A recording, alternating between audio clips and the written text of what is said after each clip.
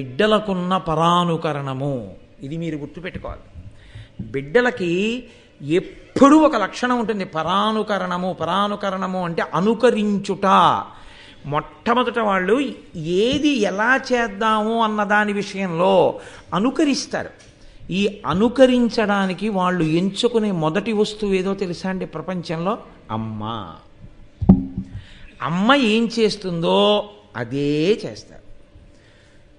వాడు అమ్మ నువ్వు అంటాడు. నాన్న నువ్వు అంటాడు. అమ్మ అంటుంది తప్పు. నన్ను నువ్వను నాన్నగారు మీరన్నారు. అంటాడు. నాన్నగారండి మీరంటాడు. అమ్మ నువ్వు అంటాడు. అమ్మే రక్షకురాలనుకుంటాడు. అమ్మ అంటుంది కాదు. నాకు రక్షకుడు మీ నాన్నగారే. నీకు రక్షకుడు మీ నాన్నగారే. నాన్నగారు అమ్మని దెబ్బలాడతారు. అమ్మ కళ్ళొత్తుకుంటుంది. కొడుకు ముఖం ఎర్రబడిపోతుంది. మీరు చూడండి ఎప్పుడైనా. అమ్మ జోలికెడితే నాన్నగారైనా సరే కోప్పడితే పిల్లాడికి చాలా కోపం వచ్చేస్తుంది. ఎర్రబడిపోయిన ముఖంతో ఉంటాడు అప్పుడు వాడు అమ్మ దగ్గరికి వెళ్ళి అమ్మ అమ్మ ఎందుకమ్మ నాన్నగారు నిన్ను అలా దెబ్బలాడారు? అంటాడు. నాన్నగారు దెబ్బలాడితే నాన్న ఎప్పుడూ మన మంచికే దెబ్బలాడతారు. తప్ప నాన్నగారు అనవసరంగా దెబ్బలాడరు. నాన్నగారు దెబ్బలాడారని నేను ఏడవట్లేదు. నాన్నగారు దెబ్బలాడేంత వరకు నేను ఈ విషయం ఎందుకు తెలుసుకోలేకపోయానని ఏడుస్తున్నాను. అని అమ్మందనుకోండి వాడికి నాన్నగారు దెబ్బలాడేంత వరకు మనం తప్పు తెలుసుకోకుండా ఉండకూడదు నాన్నగారు దెబ్బలాడే స్థితి ఇవ్వకూడదని తెలుసుకుంటాడు. ఈనాడు సుఖపడ్డానరా మీ తాత తీసుకెళ్ళి ఆయన చేతిలో పెట్టాడు పెళ్ళైనప్పటి నుంచి ఇంతే. నువ్వైనా నన్ను గట్టెక్కించాలి నాన్న అందనుకోండి వాడికి ఏం అర్థం అవుతుందంటే ఈ నాన్న శత్రువు అని అర్థం అవుతుంది. నేను యథార్థం మనవి చేస్తున్నాను? ఈ- పైకి నేను నవ్వుకి సంబంధించిన విషయాన్ని చెప్పానని మీరు అనుకోకూడదు. పాపం వెర్రాయిని దెబ్బతినేస్తాడు. తినేస్తాడు చిట్ట చివరికి అప్పటికి. అమ్మ అలా మాట్లాడకూడదు. అందుకే ఒకవేళ నువ్వు అలా మాట్లాడతావేమో మాట్లాడకు సుమా అని చెప్పి సన్నికలు తొక్కిస్తారు పెళ్ళిలో. నువ్వు ఈ రాయి ఎంత గట్టిగా ఉందో నీ మనసు కూడా అంత గట్టిగా ఉంచుకో. నువ్వు అన్న మాట చాలా దూరాలు వెళ్ళిపోతాయి నువ్వు మా తమ్ముడు గురించి ఏమైనా అంటే కాపురం విడిపోతుంది. మా నాన్న గురించి ఏమైనా అన్నావో రేపు పొద్దున్న? నేను మా నాన్నగారు ముఖం ముఖం చూసుకోవడం మానేసామంటే ఇంకంతకన్నా అన్యాయమైన విషయం ఉండదు. కొన్ని కొన్ని నువ్వు కొత్తగా సంసారంలోకి వస్తున్నావు బాగా ఒడిసి పట్టుకోసుమా అని సన్నికలు తొక్కిస్తారు. ధర్మం గురించి అంత ప్రయత్నం చేశారు ఋషులు మనకి. కాబట్టి పిల్లలకి ఉండేటటువంటి లక్షణం పరానుకరణం. అమ్మ ఏం చేస్తోందో వాడు చేసేస్తాడు. వాడికి బలం ఉందా బలం లేదా వాడికి అనవసరం. మీరు చూడండి. చాలా సందర్భాల్లో ఇప్పుడంటే లేవు. పూర్వం రోట్లో బండ పెట్టి పచ్చడి చేస్తుండేవారు. పచ్చడి చేస్తూ చేస్తూ ఆ రోజుల్లో వెళ్ళడం అంటే సెల్ ఫోన్ మోగిందని ల్యాండ్ ఫోన్ మోగిందని వెళ్ళడం ఉండేది కాదు. ఆ రోజుల్లో వెళ్ళడం అంటే ఎవరో తలుపు కొట్టారని వెళ్ళేవారు. తలుపు కొట్టారని వెళితే ఈ పిల్లాడు బుడిబుడి నడకలతో వచ్చి వాడు రోటిని ఇలా ఓ చేత్తో పట్టును ఓ రే ఓ చేత్తో ఆ బండ వీడికి అందదు. ఆ బండ పట్టుకుని ఏదో దంపేసే ప్రయత్నం చేసి ఆ పచ్చిమిరపకాయ ఒక కళ్ళల్లో పడిపోయి బేరమని ఏడ్చేవాడు. అమ్మ దంచుతోంది వీడు దంచుతాడు. అమ్మ ఏం చేస్తుందో వాడు చూసి అదే చేసే ప్రయత్నం చేస్తాడు. ఆ విషయంలో వాడి సమర్థత అసమర్థత మరిచిపోతాడు.